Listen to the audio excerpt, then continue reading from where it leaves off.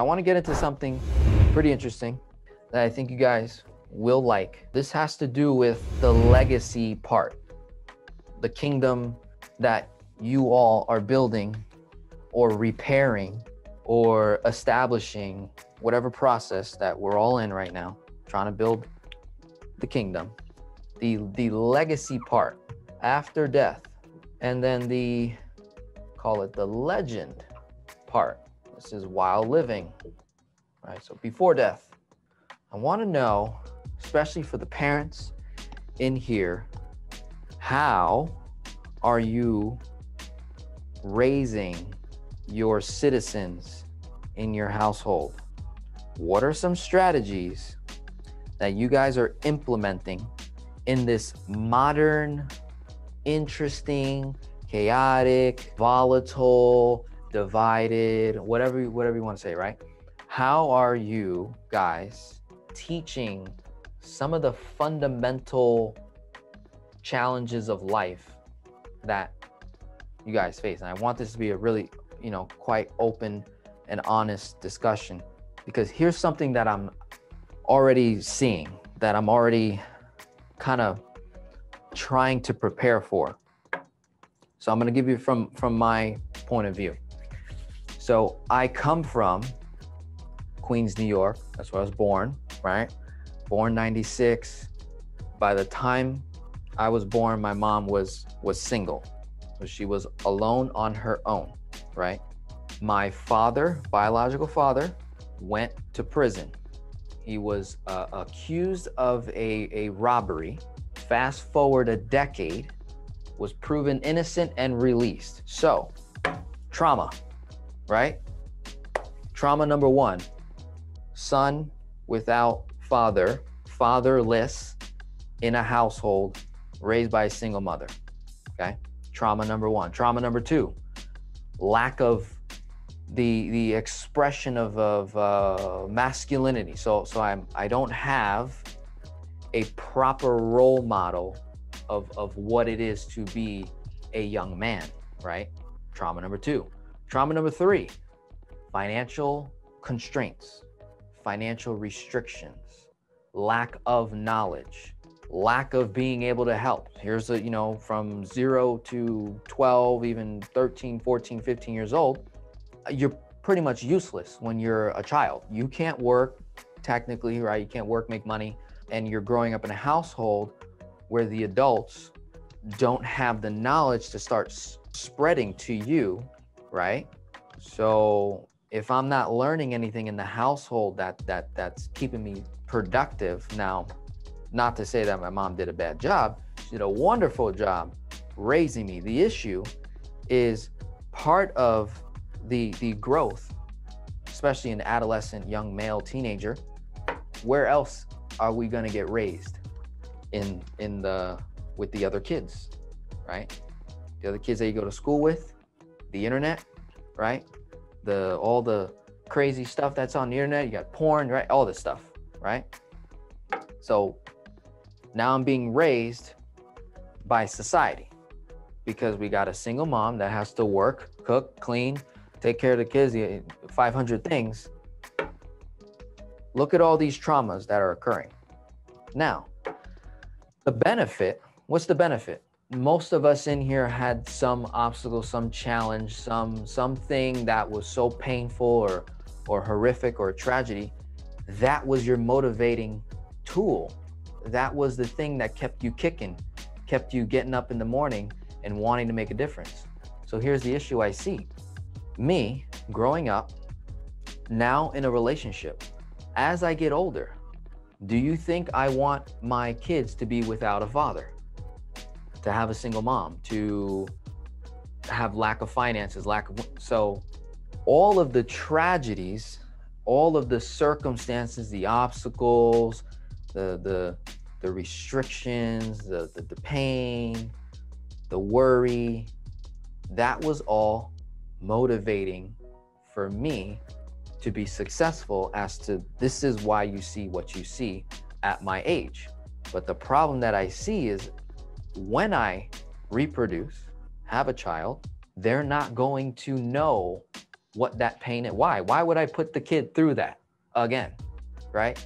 Oh, it's the it, so one strategy will well, it's to toughen them up, right? Or to toughen her up, whatever it is. I don't know. I want to get some feedback from you guys here. Do you foresee the issue of kids being raised in an environment of peace?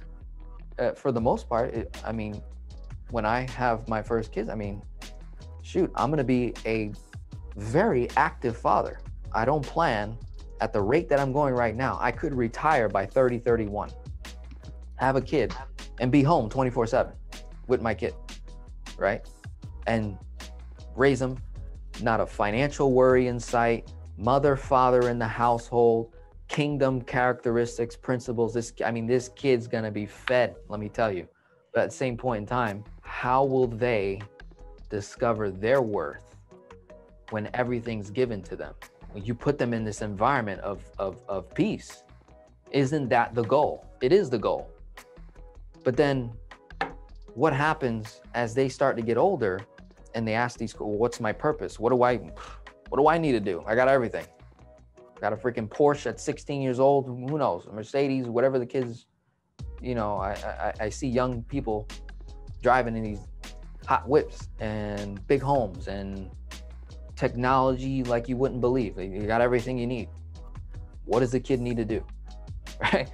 So it's like, how do we instill, how do we create almost, I would call it like necessary barriers that they have to push through, punch through in a peaceful setting, right? That they can develop some character. I want to hear from you guys. What do you see in your own household, out there in the environment? What are you noticing? That as we're paying off debt, as we're investing money, like what happens when you achieve that? And now you got to pass that information on. And the dynamic of, well, I'm a 20 year old and my dad's became a millionaire by the time he was, you know, in his 60s or whatever and I'm just living off daddy's money. I don't need to work because daddy already set me up. He set me up for the children's children, generational wealth. I mean, that sounds great, but I'm seeing this like dilemma. I'm like, wait a minute. Like, technically, that kid could live nice. You know, if you guys do all the things that we're doing here and you consistently do it, think about how much wealth you could create in a 20 year window, in a 10 year window, that it could last. We're talking generations. Do you know how do you know how much money 6.7 million dollars is?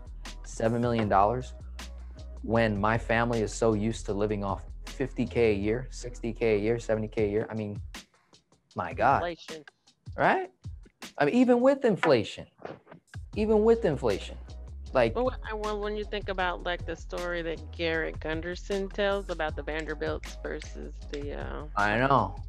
I know yeah. it's, it worries. Even me. you can have wealth, you can squander. A couple things. I have two college kids now, and I'm second generation college but probably third generation home ownership. But still, my parents, although I saw my parents were divorced when I was eight, but my dad was very present and they both owned rental property. And even though I knew that, I still didn't get a financial li- education.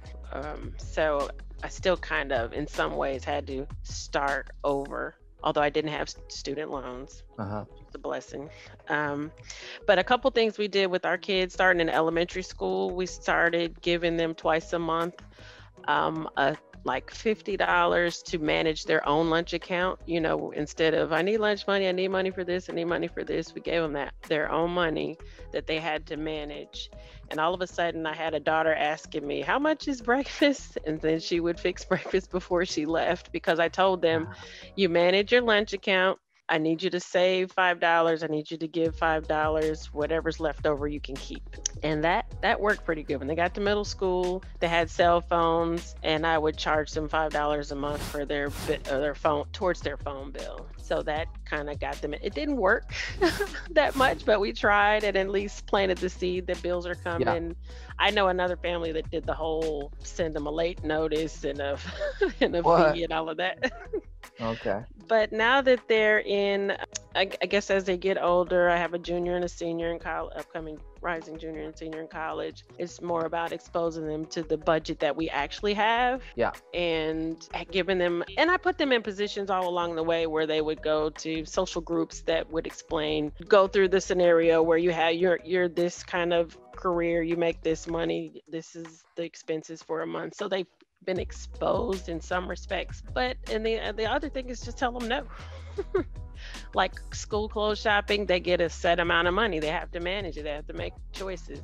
And and so for the because we set told them no, they started working. They didn't have to as soon as they were old enough. Um, so both of them have a really good work work ethic, and they don't have to work. But um, we're pretty proud of, proud of that. The other thing is with college, we told them starting in middle school that we pay half, you pay half. And if they agreed to fill out scholarship applications or, or save money, and that would come out of their half. So my daughter, she's all of five foot zero, um, and, but she got a volleyball scholarship. In fact, she got two because she transferred to another school and got another one um, and my son got academic scholarships and i don't have i don't get any flack about essays that i need for other scholarships and and they've been pretty good with that. So just a couple and the uh, last thing i would say is what we were trying to instill in them now is which i grew up with is that the next generation should do better than the, your generation. So just trying to groom the mindset that um, they can't just rest in mom and dad's laurels or even yours. You have to be thinking generational.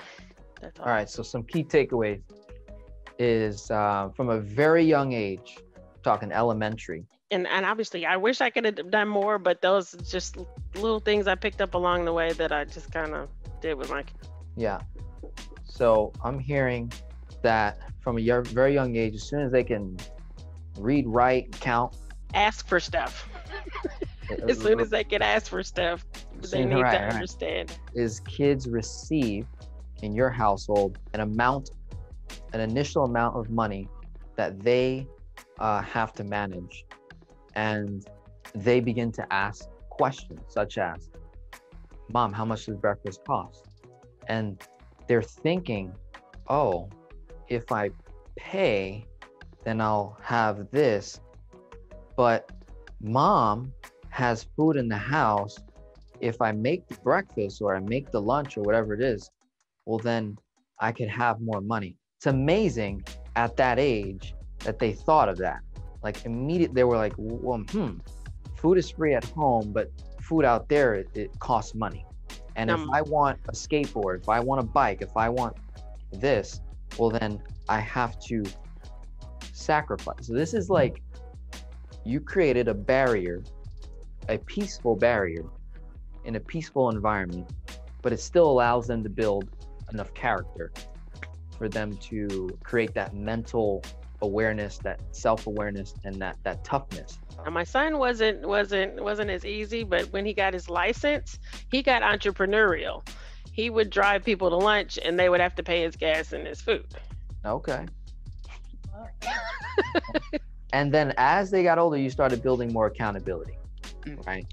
And then the other underlying message in your household is you must do better than us, right? Like the goal is to do better than the previous generation, not worse, not okay, not halfway, not the same, better. That's the established mandate.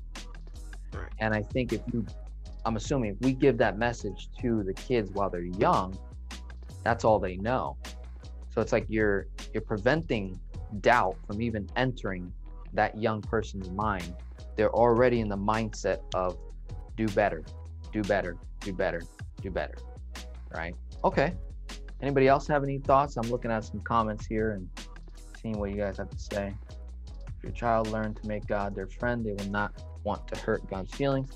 And it will motivate him, her to walk in greatness as a kingdom citizen, to contribute to the world like you, walking in love, and learn how to also create generational wealth to help the world. Take them to third world countries to learn to serve early. You will be amazing as a uh, as a dad. Okay. So that is a very interesting, maybe somebody would would say that's pretty radical, right? But in my mind, I'm like, that doesn't sound so bad. Now, I'm gonna be careful which country I send them to. Because I know me, I'm a little scaredy cat. Because I went to Colombia once. I land at the airport. I seen dudes with with M16s. I was like, I was talking to him. I was like, Dad, whoa, whoa, whoa, hey, why they got M16s like that? What's going on? I've never seen that before. He's like, that's normal. Like, we were, the airport was very close to the um, the coast, and the water, the beach, and these military men were just, you know, walking along the beach.